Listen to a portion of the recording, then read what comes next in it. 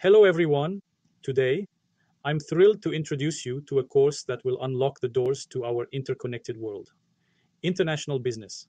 Spanning three semester credits, this isn't just any regular course. It's a core required course that's designed to give you an all encompassing view of the business world on a global scale. In today's age, businesses are not confined to local boundaries.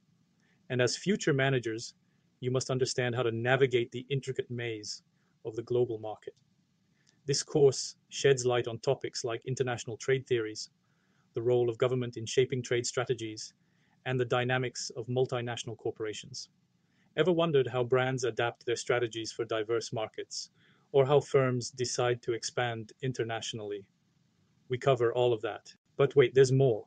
You'll be equipped with the skills to evaluate a company's potential for international growth and craft global marketing strategies to seize opportunities that emerge. And of course, money talks. So we'll deep dive into the financial aspects crucial for international operations. In essence, this course isn't just about learning, it's about application. Prepare to analyze real life case studies and even craft your very own global business strategy. If you're looking to be a part of the global business narrative, this course is your stepping stone. Thank you for your attention, and I hope to see many of you embracing this journey into the world of international business.